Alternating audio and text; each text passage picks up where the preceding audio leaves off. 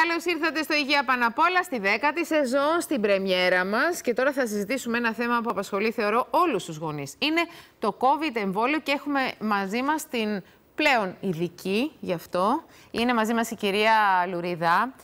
Και μ, γενικότερη κατάσταση στην Ελλάδα. Πώς διαμορφώνεται, πώς βλέπετε τα δεδομένα. Έχουμε και τα ποσοστά, θα τα δούμε σε λίγο, κυρία Λουρίδα. Είσαστε ευχαριστημένοι με τους ρυθμούς εμβολιασμών των παιδιών στην Ελλάδα; Αυτή τη στιγμή το 1 τέταρτο περίπου των εφήβων ηλικίας άνω των 15 ετών έχει εμβολιαστεί και περίπου το 13% των παιδιών ηλικίας 12 έως 15 ετών. Να το δούμε λίγο, να το δούμε λίγο για τους τηλεθεατές μας, να δούμε λίγο την κάρτα σας, παρακαλώ και εδώ, να, να γνωρίζουν. Γιατί, γιατί θέλω να σας ρωτήσω και κάτι σε σχέση με αυτά τα στοιχεία. Άρα, ένα στα τέσσερα παιδιά 15 έως 17 ετών έχει κάνει το εμβόλιο. Το ποσοστό όμως αυτό πέφτει στο 14,5 στις μικρότερες ηλικίες, δηλαδή στα παιδιά του γυμνασίου. Αυτό τι σημαίνει, κυρία Λουρίδα, ότι εκεί οι γονείς είναι πιο επιφυλακτικοί στις μικρότερες ηλικίες; Είναι διστακτικοί οι γονείς για τα εμβόλια Ναι. COVID, γιατί είναι καινούργια εμβόλια για μια καινούργια νόσο. Είναι Μάλιστα. φυσικό και φυσιολογικό. Αρκεί να σας πω ότι στις ΗΠΑ, όπου τα εμβόλια έχουν άδεια για παιδιά άνω των 12 ετών από αρχές Μαΐου, μόνο το 32% των παιδιών αυτής της ηλικίας Ναι. έχει εμβολιαστεί. Άρα, εμείς έχουμε. Το ποσοστό των εφήβων είναι αρκετά ικανοποιητικό, το 26%, αλλά θέλουμε οπωσδήποτε βελτίωση. Θέλουμε μεγαλύτερα ε, μεγαλύτερα ποσοστά και για τους εφήβους και για τα παιδιά 12 έως 14. Οι γονείς βέβαια είναι επιφυλακτικοί, Ναι.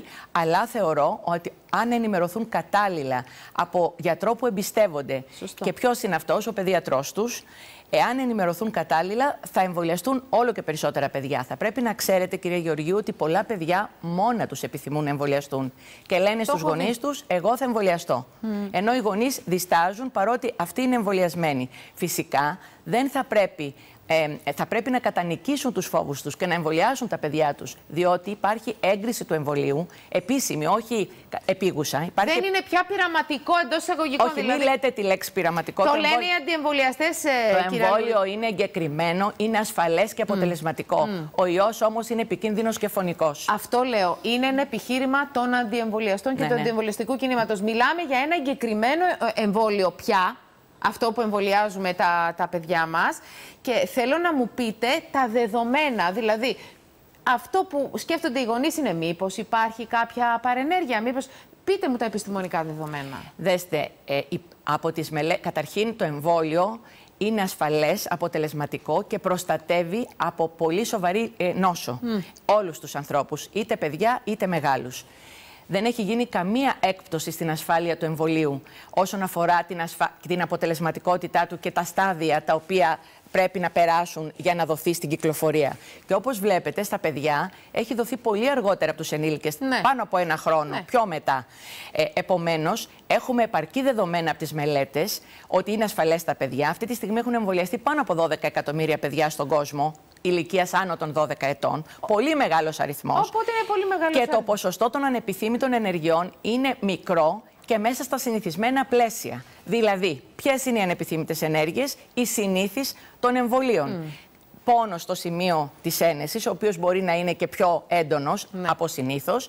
Και μία έως δύο μέρες μετά, τα, τα συνήθι συστηματικά συμπτώματα που περιλαμβάνουν πονοκέφαλο, κούραση μεγάλη, μυϊκούς πόνους, πυρετό, ρίγος. Αυτά περνάνε πολύ σύντομα σε 2-3-24 ώρα. Και είναι εντάξει τα παιδιά. Αυτές είναι οι συνήθεις παρενέργειες και δεν έχουν κίνδυνο για την υγεία των παιδιών. Κάτι άλλο που ακούω πολύ στον προβληματισμό αυτών των γονέων, ε, κυρία Λουρίδα, είναι ε, για τις μυοκαρδίτιδες και περικαρδίτιδες. Κυρίως σε, σε, σε, νε- σε αγόρια Μάλιστα. αυτά τα περιστατικά, από ό,τι ξέρω.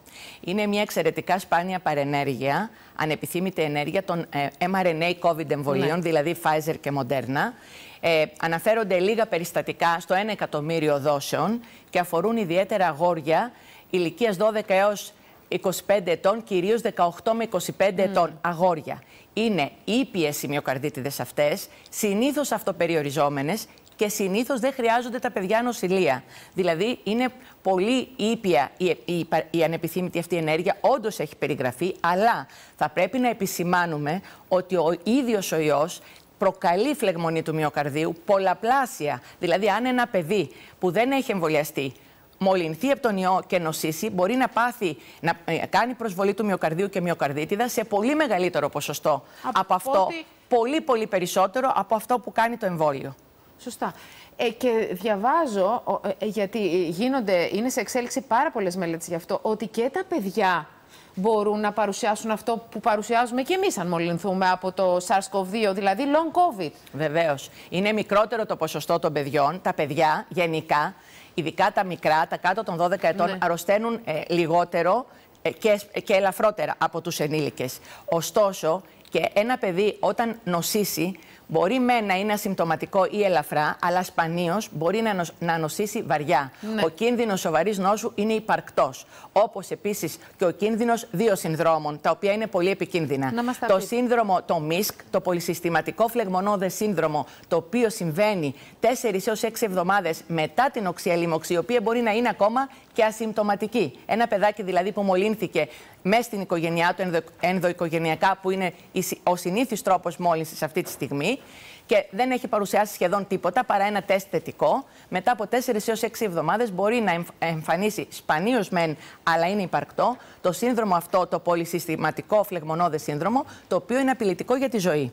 Επίσης, 2% των παιδιών που μολύνονται από τον ιό παρουσιάζουν μακρά συμπτωματολογία, το λεγόμενο long COVID, το οποίο είναι πολύ άσχημο ε, ε, επακόλουθο. Για πολλούς μήνες μετά. Κοιτάξτε τώρα, ε, η κυρία Λουρίδα, ως ε, εξειδικευμένη σε αυτό το πράγμα και το παρακολουθεί και είναι και στην Επιτροπή, μας είπε τρεις λόγους που πρέπει να εμβολιάσουμε τα παιδιά μας. Τα παιδιά κινδυνεύουν να νοσήσουν σοβαρά και υπάρχουν και αυτά τα, τα, δύο, σύνδρομα. Οπότε δεν μπορεί να πει κάποιος, Α, το τα παιδιά δεν, δεν αρρωσταίνουν βαριά, δεν κινδυνεύουν και τι να κάνουν το εμβόλιο στο παιδί μου. Υπάρχουν λόγοι και μας τους είπατε τώρα. Όπως έλεγαν οι αρχαίοι, οι αρχαίοι μας πρόγονοι, κάλιον προλαμβάνει ή θεραπεύει. Δεν πρέπει να αφήσουμε τα παιδιά μας να συναντήσουν τον ιό. Είναι καλύτερα να προλάβουμε τη στιγμή που έχουμε ασφαλή και αποτελεσματικά εμβόλια.